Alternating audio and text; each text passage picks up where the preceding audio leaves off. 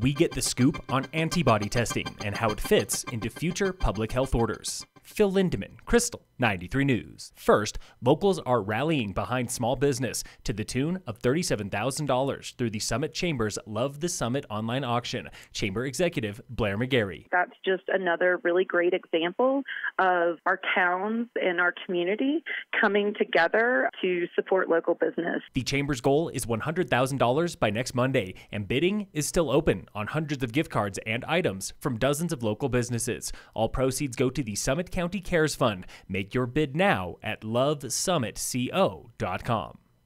Local testing for coronavirus has grown 132% in eight days, and coming next are antibody tests. But what can experts learn from them? Will Cook, CEO for Vail Health how many people in the community have been exposed and now have an antibody. A 2% test rate for antibodies and illness is best for estimating scope of the outbreak, equal to 720 people in Summit.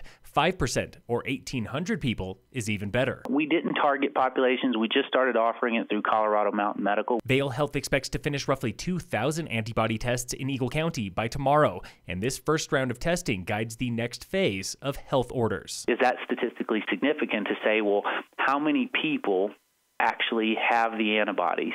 And let's just say it was 10%.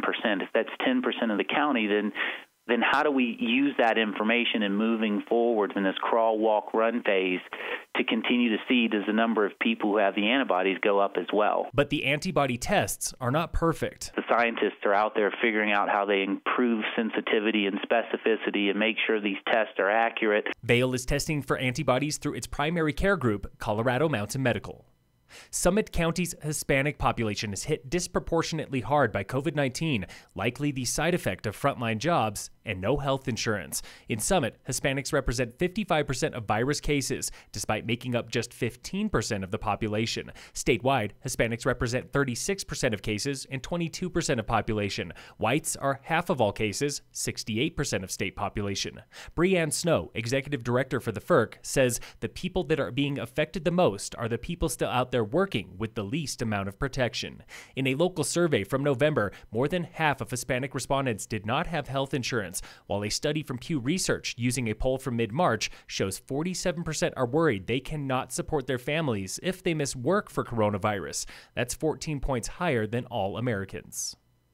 Early summer is rabies season in Colorado's high country, and Summit is not immune. Local animal control supervisor Jesslyn Swerka. Animals are coming out of hibernation and winter is over. The public's starting to be more out and about and hike and explore in the national forest. Bats are the most common carrier for rabies, like one found last summer in Breckenridge at Peak 7. They can fit into smaller places and they can um, go into the attics of homes. They can fly in your front door if you have the door open for a while. Last year's rabid bat in Breck was the first in Summit since the mid 90s, and Swerka confirms no local domestic animals have tested positive for rabies in recent memory, but she still recommends a rabies shot the disease is 99% lethal when untreated.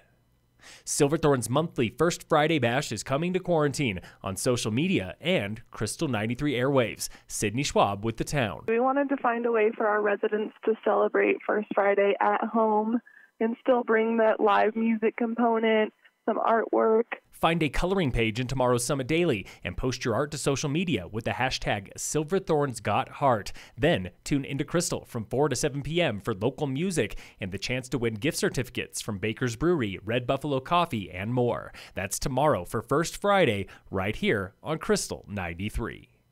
In sports, the Little League World Series, scheduled for late August, has been canceled for the first time in the Youth League's 75 year history. The cancellation includes 82 qualifying tournaments worldwide, citing troubles with testing and travel before the series in Pennsylvania. And in local sports, brought to you by Wilderness Sports in Dillon, Colorado Parks and Wildlife has extended a statewide closure of campgrounds through May 4th. State and national parks remain open, while facilities like trailhead bathrooms are closed. And Summit Emergency Manager Brian Bovaird warns they could stay locked all summer and beyond. Looking at the whole concept of bathroom doors being locked uh, in the bathrooms at trailheads, and some level of social distancing protocols being in place for the next two years and how does that affect how we recreate and how our visitors recreate. This comes as the state reminds residents to recreate within 10 miles of home by public health order. Phil Lindeman, Krystal, 93 News.